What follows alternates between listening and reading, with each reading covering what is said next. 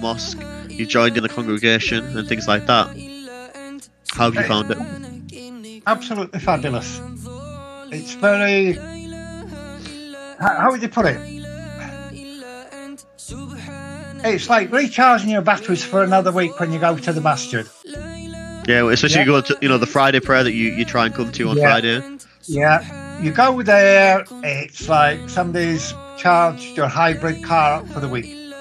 Okay, nice. You Good come- definition. You come out. You come out. You, come out uh, you always come out of the masjid with a great attitude and lots of how would you put it? Lots of energy. Good. Uh, and it keeps you going for the week because either the well, in my case, either a week or a fortnight, depending on what's what.